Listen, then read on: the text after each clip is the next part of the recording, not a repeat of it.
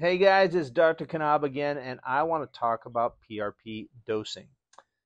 All right, so when you have a headache, you go into the medicine cabinet, you don't reach for the children's Advil, do you? Of course not. You're going to take an adult strength dose. Maybe two tablets, maybe even four if the pain's severe, but obviously the dose is important. So when you have an issue with your knee or your shoulder and you're thinking about PRP, you need to make sure that you're getting a dose of platelets that's going to get the job done. And the only way to get a good dose of platelets is to draw out the right amount of blood. It's that simple. The smaller the blood draw, the fewer the platelets, and the weaker your PRP will be. You don't want a weak PRP, do you? Of course not. So most of the time, you need a minimum of 50 cc's of blood, but sometimes that's not even enough. So how do we figure out how much blood we need to draw for your PRP? Well, that depends. If you're in your 20s and you're healthy and you've got a normal platelet count, then 50 cc's of blood is probably going to be enough. But if you're a little bit older like me, you may need more or you may want more platelets in your PRP. Plenty of studies are now showing that the older we get, the more platelets we need in our PRP in order to have the desired outcome.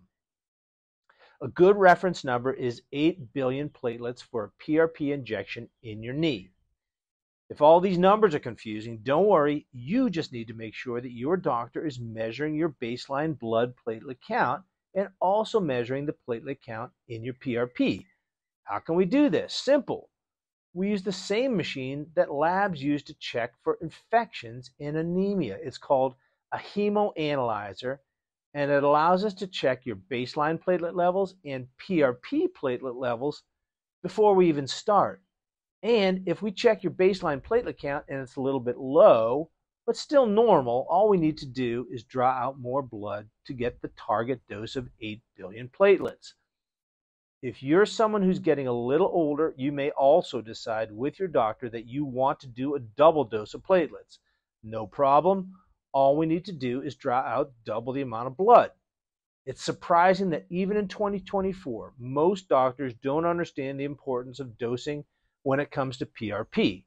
Even more surprising, there are still plenty of doctors using kits that make really weak PRP. Crazy, right?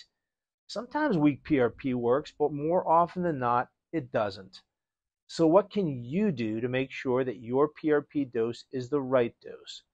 Ask your doctor if they measure your baseline blood platelet levels. If they don't, why not? Also, if they're not measuring your baseline blood counts, how do they know you don't have a low level infection going on? I've seen this. Does that sound good? No, it doesn't. Ask your doctor what dose of platelets you'll be getting during your injection. If they give you a funny look and can't give you a simple, straightforward answer, maybe you should keep looking.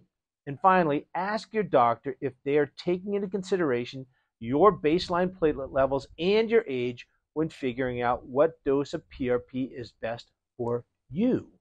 After all, it's your body, your blood, and your money. Why not get it right the first time?